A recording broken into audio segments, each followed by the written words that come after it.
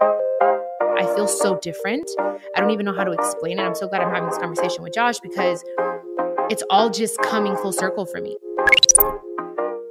When your mom passes, I see that as a part of a greater plan of passing the baton, saying, You're ready now to do your own thing. My job here is done. The first part of her life is going to be topsy turvy, volatile, crazy, changeable, unstable. Y'all? Happy Monday. It's so good to be with you on this beautiful day. I hope you all are having a great start to your week. Today, we're going to be finishing up our conversation on numerology. So let's not waste any more time. Let's get right into it. This is Chiquis and Chill.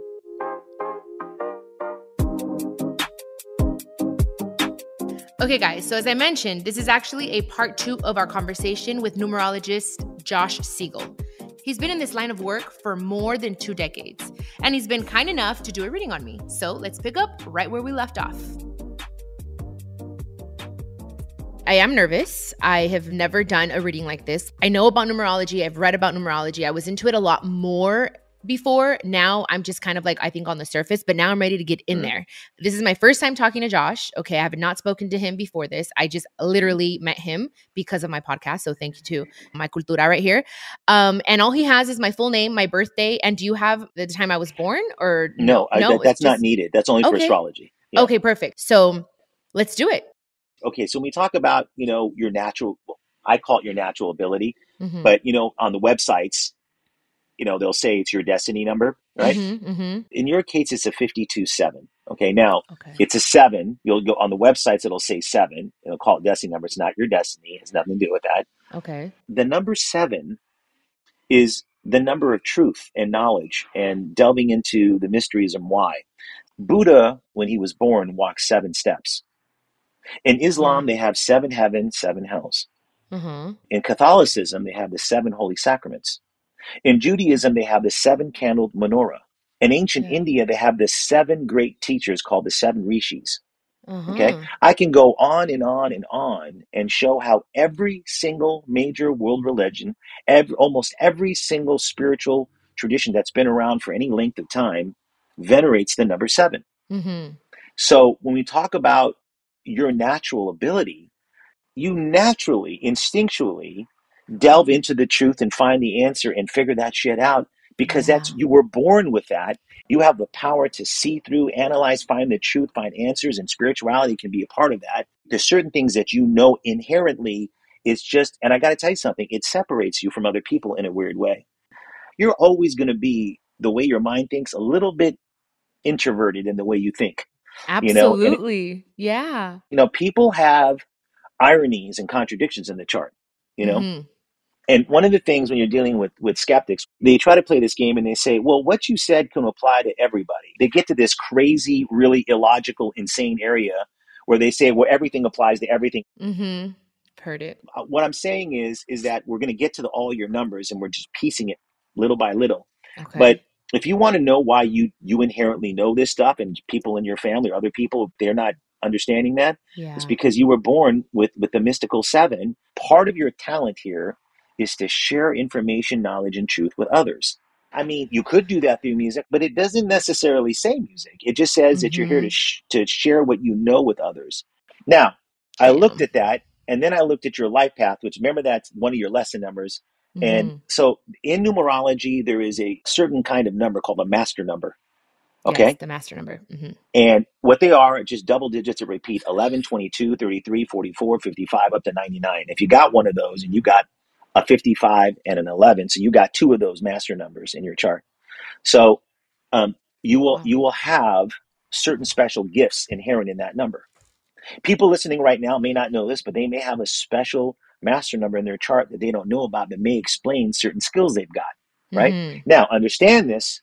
That master number also happens to be one of your life lesson numbers. Right. Oh, wow. Okay. So you got a master lesson. So it's like it's like, well, okay, I was given these extra skills or certain special qualities to me, but I have to learn that. You know, you didn't have mm-hmm. that in your mm-hmm. natural ability, you have to learn it. So yours is a 55 10 1. And right off the bat, there's some irony because five rules communications. right? Yeah. But I just said seven is a very introverted thinking number, and it kind of separates you from other people the way you are. You, you, you know, the way you're different. But the 55 says your life's going to be about communications on a powerful level, right? Now, here's the interesting thing about 55. Five is not a stable number. Okay. Okay. It is a freedom number. It is a restless number. It is a need for constant change, new things. Yeah. It can't. It can't stay stuck. It can't be in one particular situation for too long. So we it, Okay. it, it brings a kind of a wa- like a travel adventure, new things in life. But if you're if it's a part of a lesson, that means that there's a changeable energy to your environment growing up. It is not stable, and you know because five by nature breaks the stability. Now there's the positive and then there's a negative in every number.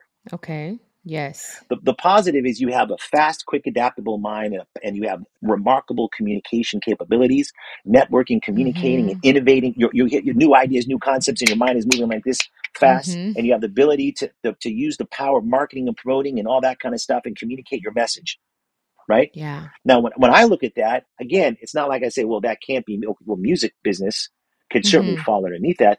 But I'm thinking communication industry, period. Mm-hmm. And then I look at that seven and I'm thinking, oh, well, she's got to drop her knowledge. She's got to get deep. She's got to explain things to people. Now, she may do it in a very powerful, communicative manner. The first part of her life is going to be topsy turvy, volatile, crazy, changeable, unstable. Since I can remember, my life has been emotionally unstable. I mean, at home with my mom and my dad not being together, it was always wishy washy. They were back and forth. Um, we lived with my grandparents, and we lived in the garage with my in the back of my uncle's house. So my life has always been a little like hectic, for the lack of a better word. It's been it was beautiful, but then here comes the stuff with my dad that happened, the sexual abuse, and and then the issue with my mom and I, and it's just I feel like it has been an uphill battle. You're going to have to learn discipline and focus. Mm-hmm. You got to take that it. fire and you got to Mhm. discipline. Now, you say, well, what happens when I take the discipline, when I discipline that double five? Well, it moves from you know, unstable lifestyle, everything's, you know, running around, being kind of crazy, being out of focus. Because think about this, if you're just running around you're, and you're doing this and you're scattered and you're not focused, Mm-hmm. you can't get anything done. You can't have great success. That's fucking true. Absolutely. Because, yeah. Oh my well, gosh. you start something and you go on to something else or you're this and that. You're not focusing in on Mhm. things. I right? mhm. Yep. So Yep. now, uh, but when you discipline it, that double five is a power number, baby. That's there's a I'd say a life path waiting for you where you can use your innovative mind, your communication skills to to become kind of the master of getting the message out. And Yeah. your, your mind is always thinking of something. It's like an inventor. You're like, I got a new idea. I got this. I got that. But I'm going to focus in on it and Focus in. discipline my life so I can get that thing happening so I don't repeat the crazy, tumultuous, unstable, out of whack shit. Yep. Oh Okay. my Now, gosh. You're speaking to my Okay. soul. all right. Now, when you add down the Mm-hmm. 55, five and five make 10, one and zero make one. Okay. Yes. So one means that you're here to, to really do your own thing and be a unique uh, leader in your field. That means you have to have a strong sense of self and identity. Like, this is who I am. Mm-hmm. I, I'm doing my own thing. I'm not a follower. One one leads all the numbers. One doesn't go, hey, three, when do I start? They're like, dude, you're one. You start, we follow you. All right. So one represents the identity. That means you're going to have a parent who may, uh, their identity may be either too big or their identity may be strong and they may Uh-huh. have some kind of a narcissism to them, you know, on some sort of what level. the fuck? Yeah. Okay. Uh-huh. And so they're going to overshadow your identity. Your identity is going to be carving out who you are. You have to create your own thing. Remember, it's a, I said this is a lesson number. I didn't say Dude, it came to you like that, right? Mm-hmm. Now, I've Oh also my just God. so so you understand, there are cases where you also can be abandoned in a weird way. So there can be control, like you got to Mm-hmm. be like this, you should be like this. They look at you as an extension of them, or they see you as that, and they maybe have opinions and things like that, you Uh-huh. know. And then you're like, but then you grow up thinking, well, who the fuck am I? Mm-hmm. My own identity didn't get carved out. I was too affected by the narcissistic person who over identified with themselves to help you to see you. You, you got overshadowed with that. Now, you have to understand Mm-hmm. there's the other side of that too. So, being around very insecure people who are who don't know who they are Mm-hmm. is not good for you just as much as being around people who are all about themselves and narcissistic. And I got to tell you, there's a, a likelihood that you'd grow up out of that and attract the two extremes of the narcissistic axis. So that would be like somebody, well, you're going to repeat what you know. You think you you think you're going to Oh get conditioned by that? Dude, I want to cry. I'm fucking tripping out right now. Yeah. Okay, keep So- going. Sorry, Josh. So so that's your pro. Remember, that's your matrix. That's your program. And so you're gonna. The program is don't be you. It ain't about you. Then you go out. What do you think's gonna happen? You're gonna say, oh well, it's not about you. Then it's gonna be about me. And then you're gonna attract Mhm. another narcissist, and it's gonna be about them. And then and here's the thing. What I found is something called an undercover narcissist. I found this Mhm. out from talking to my clients because sometimes they attract these people who are like. Let me give you an example. Like, you have a friend that their life is just, oh man, they never figure it out. They're always got a problem, an issue. They're they're insecure. They always they never get over the hump. And then something Yeah. really great happened in your life. You want to sit down and tell them, but you look in their eyes and they're like, "Oh, I can't say this. I Uh-huh. can't tell them that. They're already. This is going to make them feel worse. I'm going to Yeah, yeah, eclipse them. You keep yourself a little smaller around them, so they don't dim your light. You dim Mhm. your light. Let me tell you something. What's the difference if you attract a narcissist that becomes all about them and you lose yourself to them, or you're with somebody that's insecure, so insecure that you dim your Uh-huh. light so they don't feel bad. to in both cases, feel better. yeah, Yeah. in both cases, you were giving away yourself. Fuck. Yep. And the funny thing about this is when I talk to ones and I ask them about this stuff, sometimes they had a parent that was an e- egotist or they or narcissistic or they were, they were about they were you know this big person, and sometimes they had a parent who was insecure and unsure of themselves. And in both cases, they had the same. They both had a loss of self, right? Mhm. So Mhm. I don't know. What to, I told you these things I don't know. I don't know which Yeah. one it is because they, they have a similar response. I know this much. You can still attract either one of those if you're going to repeat your pattern. And then you have to wake up and go, Mhm. wait, wait, wait, wait, wait, wait. I can be loved and be and shine my light at the same time.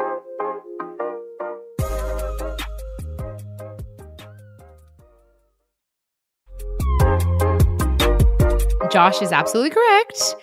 I have dealt with both sides of the spectrum narcissistic and insecure, but pretended to be very secure, but in reality wasn't. I'm not going to say any names here, you guys, but I've dealt with that with family members in relationships. I had a very narcissistic partner once in my life, and I felt like it was just all about him and he wasn't really allowing me to be who I am meant to be in this world. It was in a way it was it was all about him, but then it, he was also insecure because he was afraid of what I can become.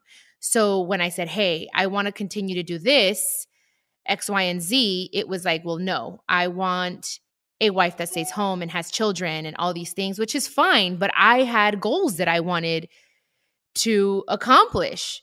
So I had to ex-nay that relationship. And then in one of my past relationships, he was very confident exteriorly. Like he, you know, on his exterior, he was like, yeah, you know, I got this. But my sh- light kind of not bothered him, but I, I guess I did. I had to just step back a little bit and not be myself to my full potential because I didn't want to hurt his feelings. I didn't want him to feel like he was less than or felt inadequate or felt inferior, you know? But then that wasn't good for me either. So I had to let go of that relationship. And now I can honestly tell you that I'm with someone that does allow me to be myself.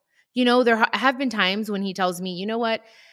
I feel like not not intimidated, but like where he feels, am I enough for you? And he definitely is but more than anything he allows me he loves that i am who i am he he wants me to be better so it just feels good to have someone like that like where i don't feel like i have to be less than or i either way like dimming my light Now, would you would you be with someone like that now? no Okay. Nope. All right. now you now asked- i know now Okay. i know Okay. All right. Remember, I deal with facts. I'm a son of an Mhm. attorney. mm-hmm You done asked me earlier. You said to me, uh, is, is this your fate? Is this your shit? Is this how it's always going to be? And I said, I got 20,000 cases. I know for a fact people can change. yeah And even before they talk to my big mouth ass, right? And and you know what you just did? You just factually confirmed it. I used to date that, Yep. but I don't do it. I would never do it now because Nope. I woke up. You woke up out of the matrix. i'm woke Okay. honestly in that aspect now Yeah. i'm like the crazy shit is that you're just you're confirming so many things and i've never said this before but but my mother was mm-hmm. that woman that uh, for a long time I was in her shadow since I can remember. You know what I mean? Because Yeah. she was just this huge force. And I mm-hmm. always felt like, for a long time, I felt like my destiny was to be by her side and help her shine and build her up. And then one day would be my time. Never did I think she was going to pass. And then I, it was only until then that I was able to find the strength within myself to say, okay, let me step into my own light for a long time it was just and even even in the beginning of my, of, of my of my career it was difficult because it was the comparison like and it's taken a lot of work for people to be like hey it's me it's Chiquis like don't look at my mom like don't compare Yeah. me to her we're two different individuals but Yeah. i feel like now finally especially with this new tour this new album i feel like Yeah. More confident than ever barely like where it's Right. like i thought but now i'm like i think i got this by the balls now you know Hey, listen, when your mom passes, that's a part of this greater, I see that as a part of a greater plan of passing the Mhm. baton, saying, you're ready now to do your own thing. My job here is done. Now it's time for you to, you know, create your own path, not based on me. I'm passing the baton on to you. I've never said that before, and that's how I feel. I almost feel wrong with saying that, but I feel like if my mom and I were both here, I don't know. It's not I- the correct word is she wouldn't allow it, but I just feel like I wouldn't be doing what I'm doing if Yeah. if she was still here. You know what I mean? Maybe because she Yeah. was such a huge force, and she continues to be. Don't, don't get me wrong, but Yeah. I do feel like it's more like God said, "Okay, well, here, I'm. Your mom's gonna go rest now, and we're gonna Yeah. allow you to do what you have to do." You know, but That's I've right. never said that out loud because I'm like, how the fuck is that gonna sound? But I've always felt it within me. Yeah. You know? No, it's like you love your mom. I mean, people love their moms. I mean, course, it's I like it has love her. nothing to do. Love the hell out of her. Mhm. So it has nothing to do with that. It's just that your journey, right? Your Mhm. journey needed. We needed a transit. I call that the catalyst. And sometimes catalyst, the catalyst comes. A person comes in your life, and sometimes someone leaves. But it's Mhm. always a catalyst because it's a time frame in your life where you're ready for growth, and and the universe kind of sets that up in a way, right? yeah. And so, and, and that's part of the process. Now, we talk about personality 29, Mhm. 11, and now Okay. 11 is a two. You can, you can add 11 and become a two. So we know that. But we, but, but master numbers, um, the 11 is the, the first master number because it's a double one. All the other master numbers, you know, 22 is two times 11, you know, 33 is three times 11. So that we always, we just out of respect for the 11, we just keep it. It's the original master number. Now you have that in your personality. Now 11 does rule the media. Okay. So Okay. we now know you have immediate, we have immediate personality, inspirational. You have a certain dynamic quality to you. Certain char- charisma may come through that. That's the 11. People go, go online and read about the number 11. You can write 11 Mhm. personality and all that kind of stuff. And you can see these are aspects of the 11. Now, we already have communications, right? Mhm. And a powerful communication. And we have seven is dropping that knowledge and bringing your truth. And then we have a media like personality. Yeah. Okay. It's crazy. Now, now, am I supposed to be shocked that you're doing a podcast? You're communicating your knowledge and your truth, right, within the within a media context. Now, I'll tell you something that's interesting. That eleven personality gives a sort of dynamic quality to you, where the seven doesn't have that. The seven is the seven will nerd out on you, or get spiritual with you, or it'll get deep Mhm. with you. But they don't necessarily have a good personality. Yeah. you The seven is Janae, and I feel like the eleven Yeah. is Chiquis. Those are my two different Yeah. people. Yeah. Yeah, yeah. The the eleven will dramatize that. You know, Yeah. The 11 will inspire and have, and, and then you got a double five. Remember, five's fire and it's mover and a Mhm. shaker. You know what I Yeah. mean? A little, a little, little wacky, a little, little impulsive, a little how to how to learn how to take this topsy turvy craziness and and, and and and discipline it. But Yeah. but it's certainly got the magnetic, powerful communication ability. See, this is why I said I, I wouldn't I would have not have known necessarily you were you were a singer. I know that you're involved in communications. I know you'd be in the Mhm. media. What you're doing now is more connected to those numbers that I see than anything. However, Yeah. I know this. I know this one thing. I know from being a musician and a writer myself, you know, that music is a you know a media outlet that you can you can bring your truth to others through, and you can Mhm. communicate that to others, right? Yeah. It is communications. It is the media. You, you know, the lyrics in which you say, you can bring, you know, deeper meaning in it. But notice how you're doing a podcast, Yeah. right? Mm-hmm. And now, how many singers do a podcast? Not very many. Mhm. And, and the reason why is, is that we have straight communications and informational stuff going on here. You know, communi- you know, communication industry, telling the truth, talking about it, breaking it down in a Mhm. communication environment through some media outlet, and we see that that is apropos to your chart, where just Mhm. someone who was a straight singer wouldn't do that. You see how your chart shows this perfectly? Absolutely. Yes. It's crazy. Yes. You know? Wow. Now, in music, you can say something, but I mean, you got some real communication industry stuff. This is radio, this is TV, this is writing a book. You know, it's kind of like that. Yeah. You know? Yeah. Oh my God. Yeah. And that's what makes me so happy. yeah. Yeah. Because you, why? Because you have no alternative. You're a seven. You, you've got to share what you know, your truth with others, and you're going to do it through the media, but you're going to do it in, in, in a, maybe in an unconventional way, in a crazy way, in a, Mhm. in an edgy way, you know, that double five, you know, so you, even your, even your inner drive is another five, you know. Now, I'm going to say when I see a, a 55 and another five, and say, okay, well, you know, there might have been some excessiveness in some department in your life or impulsivity you had to learn how to work Absolutely. you hmm know. Definitely. All right, so now let's get to the the deepest lesson of your chart, your ultimate goal, Okay. Let's do which it. is your higher, which is your higher purpose. Okay, Okay. and then and then we're going to go back in time and we're going to see how your your your life played out into those cycles, okay. right? All right. Down. So now here's the interesting thing about it: seventeen eight is your ultimate goal number. All right. So let me Mhm. make this clear: what an eight is. Okay, eight is a number of authority and power. It's it is a, a number of someone who builds their own empire and their own business. Nice. Okay, Okay. could be via communications because we can't. We're not going to throw out the other four numbers. hmm I'm saying, but all the stuff that you do needs to be put into building a business where you Yeah. are you are the authority, where where Mhm. you were in charge and you were creating success for yourself, but in the right way. And that's what I'm going to get into what the right way is. So Okay. the thing about eight is psychologically, it is always self worth, self value as a lesson. So I can tell you right now that many people in this world who are extremely successful have lo- had low self worth. Okay. hmm Now, a lot of people tell me they're like, why is that? And they say, well, you have something to prove. Okay. Yeah. You're driven to, to succeed, right? To go beyond these feelings that you have, right? To to compensate for that for those self-worth concerns. Okay. You know, when you have an eight, you have to learn to value yourself. That who Yeah. you are is is worthy. Uh, yeah. Yep. And and I got to tell you, it's strange because you think, well, if someone's got self worth issues and they don't they don't value themselves the way they should or what they're worth, of course, earlier in their life they're going to put themselves in compromise compromised situations. hmm Now you can do that in work, but you can do it in relationships, right? Absolutely. Where you are not treated as if you are valued. Okay. Yes. Now there's an interesting thing. Eight also rules the material world and finances and money. hmm Okay.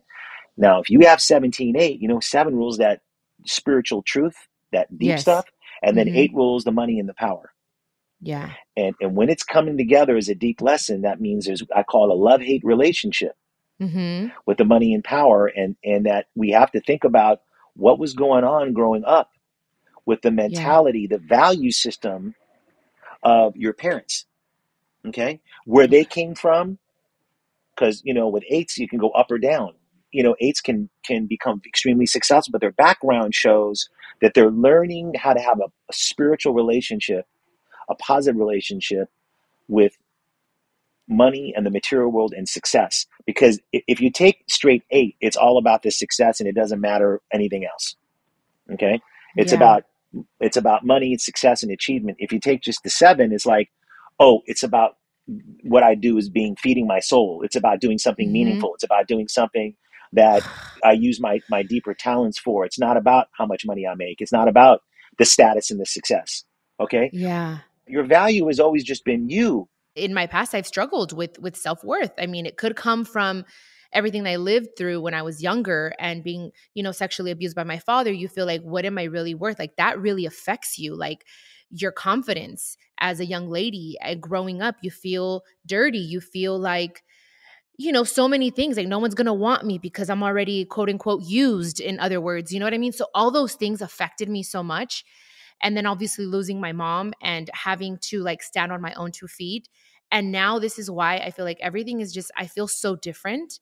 I don't even know how to explain it. I'm so glad I'm having this conversation with Josh because it's all just coming full circle for me. Like now I feel like I'm not going to put up with anyone's shit. Now I'm going to speak my mind. Now I feel worthy. Now I have Abeja Reina. Abeja Reina is here. In my intro, that's what I say. She's here. I'm here. We're here to stay. Like, ahora sí me la creo. Like now I'm like, I'm worthy. And I have to tell myself that a lot. I'm worthy. I am worthy of love. I am worthy of success. I am worthy of being financially stable. Like those are all affirmations that I tell myself on every day because sometimes my past can come and try to seep into my future.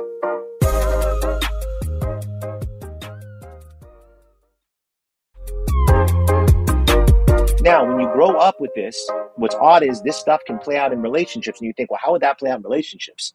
It does. The people you track, their self worth and their value system about what's important in life and how much they put on outer success and achievement and status, things and stuff, mm-hmm. and how much they put in the deeper stuff, right? Yeah. So the first thing we need to do is go back and talk about where your parents came from originally. Okay.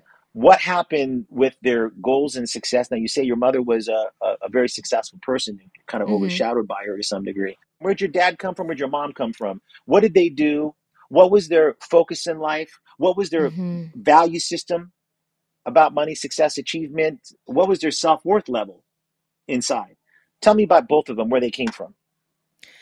Okay, so my mother, she grew up, I could say, like poor. You know what I mean? So okay. she was very loved, had a very pretty and beautiful, I think, um, childhood.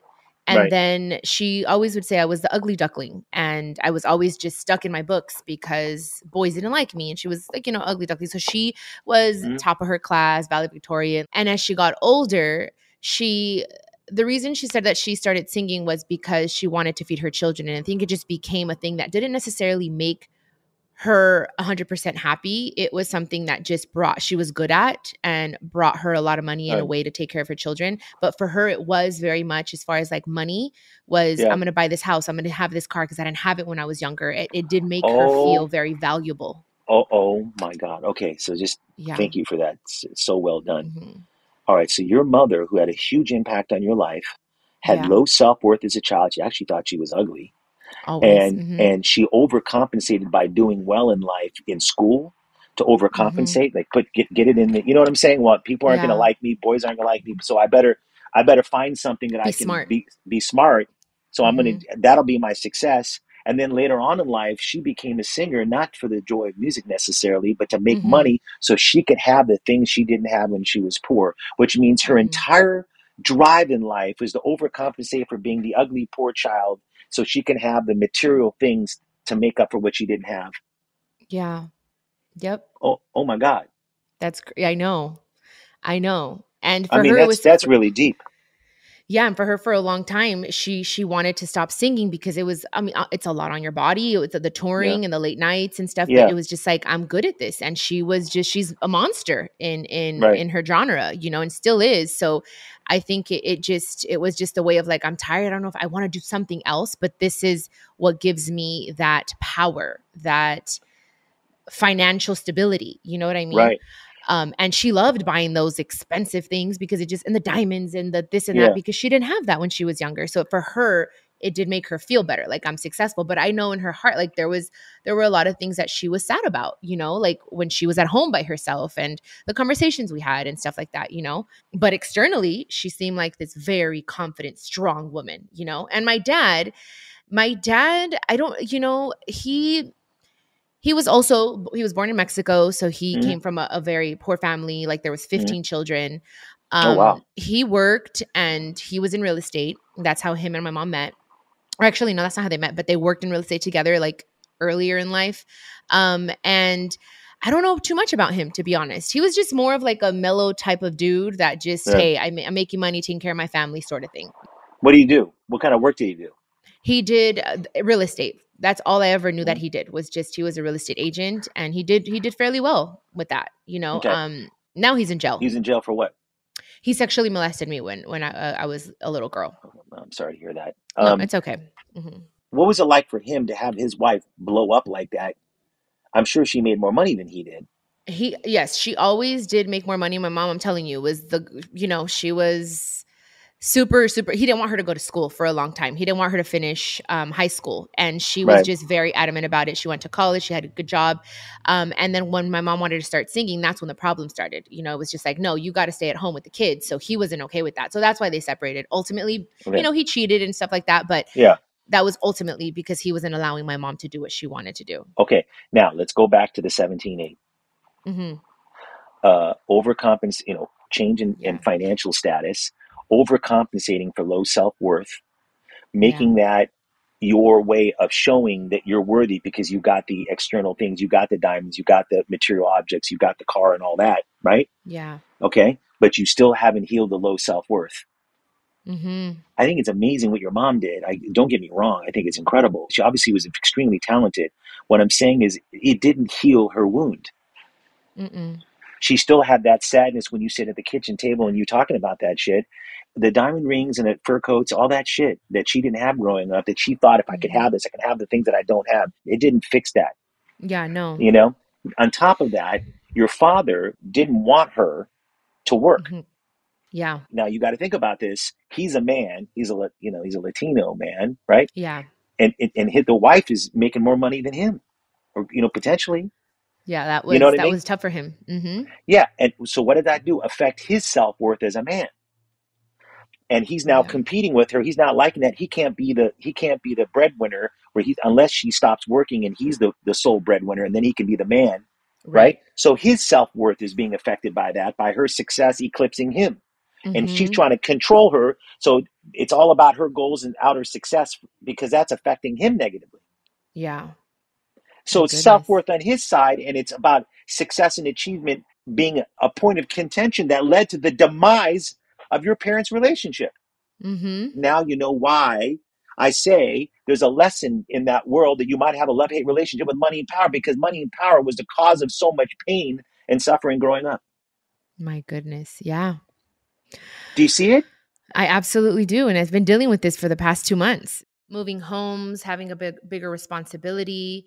And it's kind of like that song, uh, Biggie song, More Money, More Problems, you feel. And I don't like to look at money in that way at all because I feel like it's a blessing, you know, and I try to look at money in a very positive way, no matter how it's affected my life in the past. Because people, when they have money and power, some people, not all people, some people, that aren't emotionally healthy will do certain things and hurt other people because they can, because they have that financial stability and they're wealthy and they have that power. So, anyways, that's a whole other subject, but it is so important for me that I take care of. Like one time they told me at church to be a good steward. And I've struggled with that my whole life when it's like I have some money and instead of saving it, instead of making the right choices with it, I spend it on things that I don't really need, more luxuries. You know what I mean? Things that is just like, you know, like lo malgasto, you know, and I feel like right now, God and the universe are teaching me a lesson of learning like, if you have $5, and we had an episode on this, you guys, save $3 of it. You know what I mean? And spend two of it. You know what I mean? Like that's just a little example, but that's just kind of like the lesson that I feel I'm learning right now because sometimes we don't know or appreciate the value of money. So, you guys remember save your money. No anden gastado en pendejadas. I'm telling myself that too. Now understand the Mhm. timing in your life. Right? Yeah. hmm You're in an 11 year. You have an 11 personality. You can Google 11. You can find out what 11 is. I mean, there's some standard. I mean, a lot of stuff on the internet's bullshit, but you know, but some of it's just basic stuff here that you can learn. So an 11 is is a cycle when you're going to have shifts of consciousness and awakenings. And you and you're going to realize certain things. And now you have to think about the matrix. Now, what's the matrix going to say? You're going to attract people in your life, hmm and you always got to check what is their value system and mentality. Okay, Yeah. well, you want to be around successful people who do what they do because they love it, not just for the money, not to compensate, Yeah. not to be all about the status. And also in business, who are you attracting? Who are you working with? You know, Okay. Are you Yeah. are, are you getting a positive thing or a negative thing about business? You know, what are the, what's their mentality and their value system, and who's in control and who's the authority? Oh my God. Yeah. You know. Now, I don't know exactly what happened in your childhood. I never I never said Mhm. I know everything. I mean, I, Yeah. I, I know the basics of it. I know the dynamics. So I, I ask.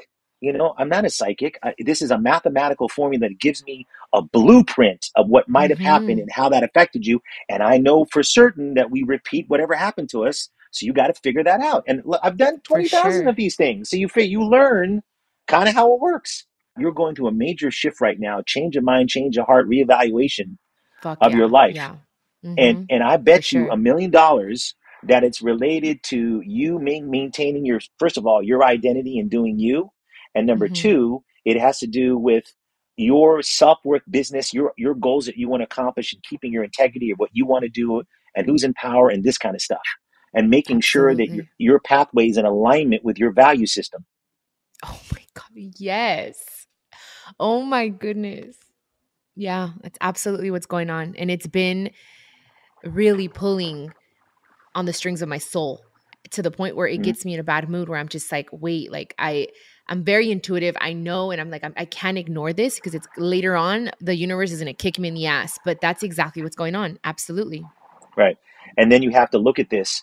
Am I going to do the programming and repeat the fact that that world Mhm. symbolically related you know, to your mother and your father? We went over that. I don't have to go over that. Do, am, do I have to repeat that pattern and play out that money's the root of all evil or business or all that kind of whatever that shit is, right? Mhm. Or Mhm. can I wake up out of the matrix and say, you know what? I'm going to make sure that my business turns out the right way. Yes. I'm going to make sure that I keep my integrity and that I work with those who do. I'm going to make sure that the truth and honesty and all that's going to be a part of this, and that my, I'm, I see myself as the manager of my own life because I'm my own authority, and I'm going to have the Mhm. self worth to say what I need and what I want, Yep. Absolutely. Yes. Even though my self worth got kicked in the ball sack growing up, seeing all that shit. yes, I know, but You know? I I am adamant about making the changes necessary in my life. So this was honestly wonderful. It really did answer so many questions. It confirmed a lot of things for me, and I just I feel that I, I mean. We can do this off of the podcast, right? I can have a session Yeah. with you later. yeah, I actually didn't get back to doing those those magical cycles because those are wild when you go back and you see how things played out during these certain Yeah. number cycles. But I guess we don't have enough time for that today. Yeah, I you know, know, but so- but it's Mhm. okay. I do want to speak to you. I'm going to tell my Yeah. producers um for Mhm. us to I would love to have your number so I can have a Mhm. session with you. I have a lot of questions. Yeah, Um you know, but but I I'm honestly I you guys, I'm in like all right now my mouth is open. I'm I have I I I feel like I want to cry but of excitement because I'm just like, "Oh my Mhm. gosh, I feel like I can rest with so many things." It, it- it's just Yeah. it's hard to explain because I feel like I would have to get in into detail. But either way, Josh, thank Yeah. you so much. I am so grateful. You are definitely gifted and in what it is that you do because the thing is yes i know you said this is very factual and everything and like it, it's all connected but you are also very intuitive it all goes together so and josh i don't know if you want to share uh, your social media or a website where people can find you yeah. So I mean, the website's you know Josh Code. My Instagram is at numerology Josh at numerology Josh.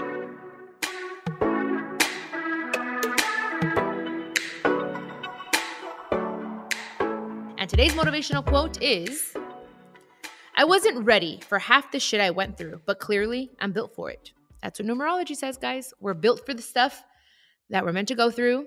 We get out of it. Y hay que darle. Again, you guys, los amo, los quiero. Thank you for being with me on Chiquis and Chill. I will, uh, you know, catch you next Monday. Peace out, y'all. And guys, I want to let you know there's a brand new way for us to keep in touch. You can now leave me voice memos directly through the iHeartRadio app. Just click the microphone at the top of the Chiquis and Chill podcast homepage within the iHeartRadio app. And if you don't already have the app, you can download it for free. Your questions and comments could be featured in a future episode, so feel free to tell me what's on your mind.